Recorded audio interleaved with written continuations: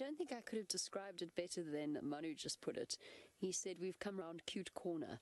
From baby baboons to tiny, weeny little warthog piglets.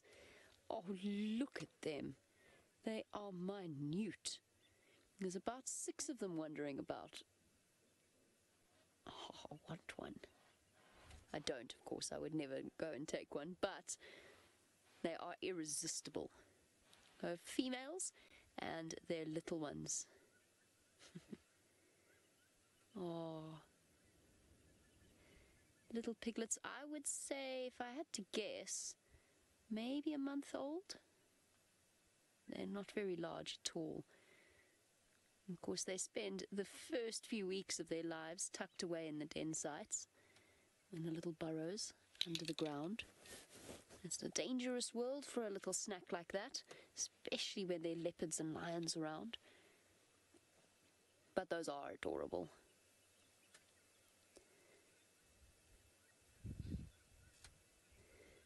Catherine, you say so darling, these little babies. They are. They really are irresistible. Everybody loves a baby animal. There's not a single one that isn't cute. Everybody always says warthogs are ugly creatures. Not everyone. A lot of people say that warthogs are ugly creatures. I couldn't disagree more. I find them, even the adults, I find terribly endearing. Especially when they go trotting off with their tails high up in the air like little aerials.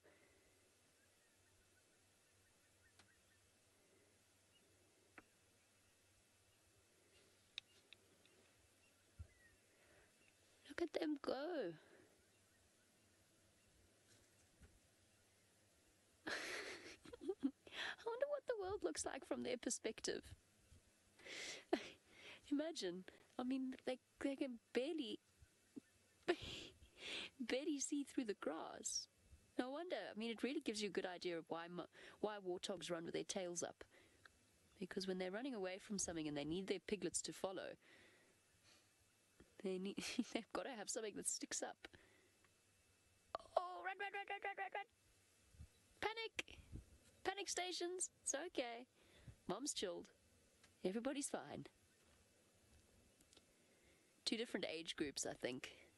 Some are slightly larger than the others. That one at the back is minute.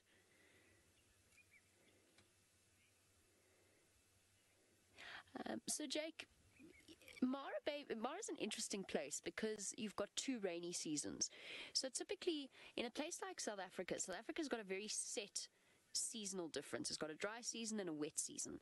And in those sorts of areas, you get a pretty much statistically all of the the herbivores either have a strict breeding season where they give birth in the rainy season or they have a peak breeding season where most of the babies are born during the rainy season the mara is slightly different because there is a great deal of rain there's food pretty much all year round provided the rains have been good um, so there's not the the there's not a strict schedule.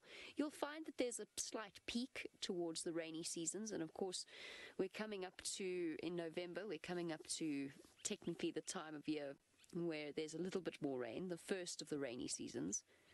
Slightly shorter rainy season. So you'll find that there's a peak, but there's no set breeding schedule for the animals out here. Wildebeest, of course, slightly different. During the migration, they'll go and they'll calve in Tanzania but for the most part, and baboons baboons don't have a strict high, uh, a breeding season at all. They'll breed all year round. So will lions. Oh, it's your little warts on your face.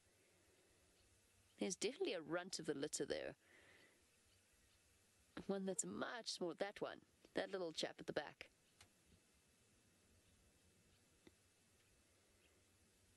Come on, keep up.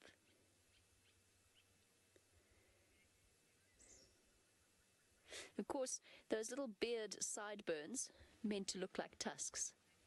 Heidi, um, I think so. I know that they are quite altricial, in other words, quite underdeveloped when they are born. I think they're born with their eyes closed, but I'm, I'm not 100% sure on that, but I think they do. It makes sense because they, they're a burrowing animal. Oh, what is that, Mum? These our furrier than we are. Baboon's not having any of it.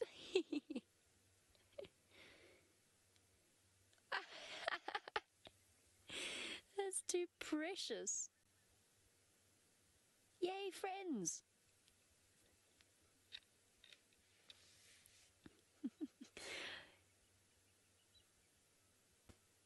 B baby baboon also curious.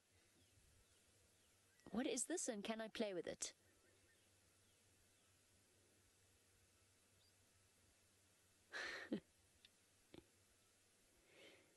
You know, just casually throwing some zebras into the mix as well. There go the little piglets.